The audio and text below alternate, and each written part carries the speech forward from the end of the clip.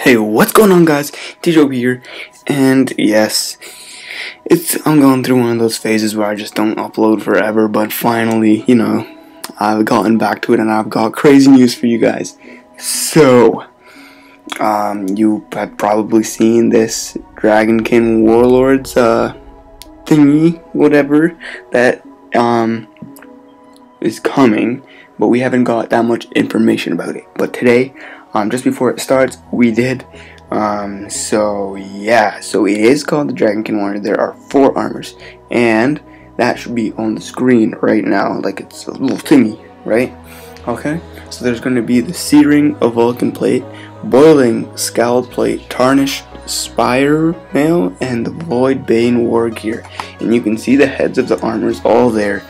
Um, I don't think there's going to be any spirit. Lots of people have been complaining there's so much spirit armors and stuff like that, and looking at it, I don't think there's any spirit. Um, looks like fire and earth is going to be the main two elements in the fire in the first two and earth in the last two. And, oh baby, okay, so there's Epic Boss Collection. We've been through this. We haven't had one for a while, but it's finally here. So, you get all four normal ones and then you're gonna get three keys to this chest that will happen after or during like the last boss. And you're gonna get the dragonkin wings which look pretty cool.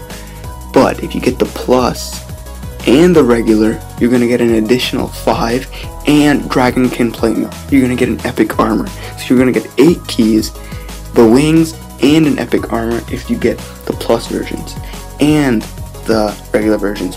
So I need to strongly advise this. When you get the plus, I mean when you get the regular, keep it. Do not fuse it. When you get the plus, also keep it. Do not, so you need 8 armors to redeem the prizes. Then afterward you can fuse them. I just don't want anyone to get like, you know, snaked out. Um, yeah, the chest is probably going to be like 10 times chance for epic or, you know, it's usually something good.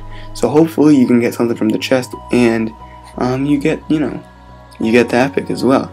So I right now I have the stats for the Dragon Plus Dragonkin Plate Mail regular on the screen, and you guys can check it out. It's really attack heavy, so if you need an attack armor, it is um, good for that, and it's earth water. So yeah, that's really all I had. I just wanted to let you guys know this should be launching out tonight.